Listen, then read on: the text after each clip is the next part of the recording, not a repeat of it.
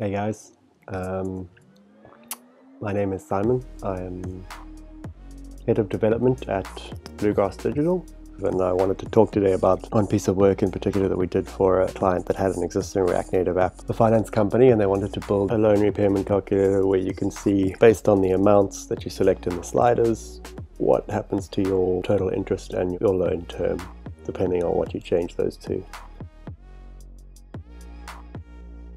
There were two libraries that I stumbled upon. Those libraries were React Native Reanimated and React Native Gesture Handler. I actually contributed to Reanimated. I added a format primitive node, which allowed you to take the animated value and pass in a string format. iOS, Swift, and Java support this concept of string formatting, and it's a standardized thing. So I actually added that format node to the underlying reanimated library, and that worked out really, really well. So we don't have to cross the bridge to format and display those numbers, the different formats.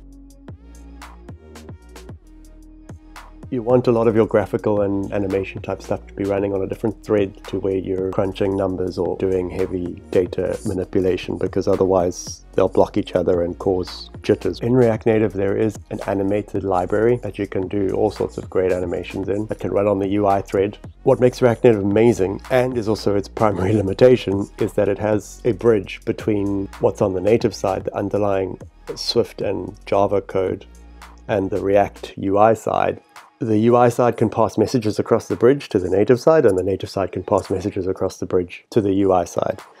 The great thing about Reanimated and Gesture Handler is that it set out to solve that problem. What they did is create a bunch of primitive node types that are effectively functions that are mirrored between the JavaScript side and the native side on Swift and Java. What that means then is that I can take these primitive nodes and declare relationships between values and between interactions without ever crossing the bridge. So the idea with Reanimated and Gesture Handler is that you can make everything run on the native UI thread and the bottleneck of crossing the bridge constantly disappears.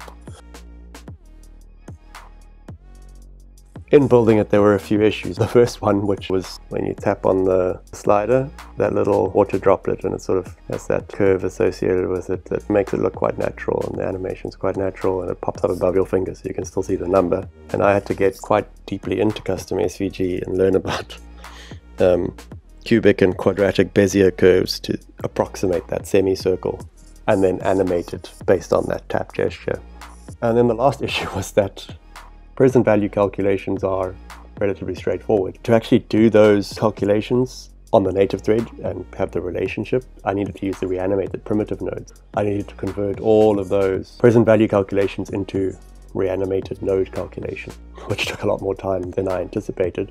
But in the end, I think the result kind of speaks for itself. It was, it was a really great build and it was a lot of fun to do.